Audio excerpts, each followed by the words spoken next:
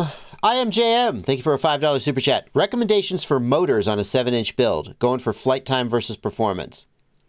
Uh, JM. I think that everyone will agree that, like, the canonical. What are you downloading? Don't download anything. Oh, wow. That's interesting. Oh, God. I've done it. Brundlefly says, with Blunty running the things in the background, my live stream is 90% more watchable and entertaining. I'm not sure if I should be insulted. I'm glad you're enjoying it.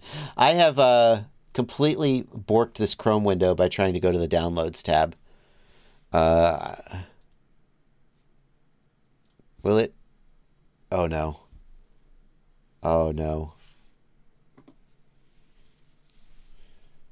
Oh, boy. I cannot kill this window. Can I start a new Chrome window?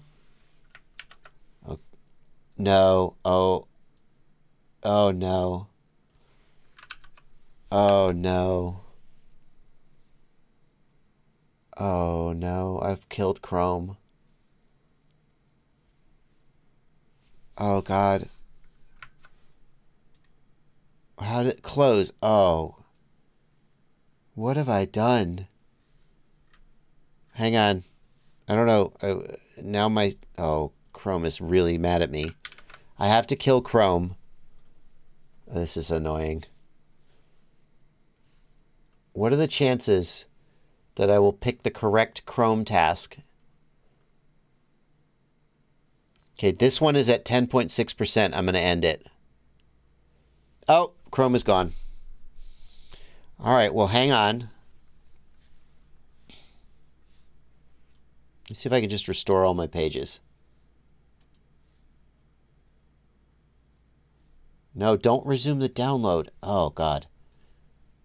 Sorry, hold on, folks. Sit tight. Sit tight, folks. Sit tight.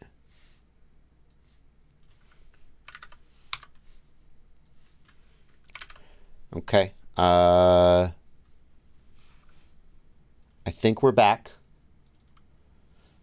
Um, did it keep all the queued messages, Blunty?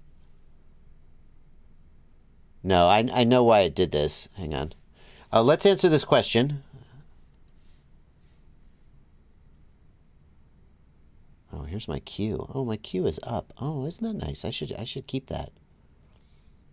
Unfortunately, I've lost this message. The question was about 7-inch motors.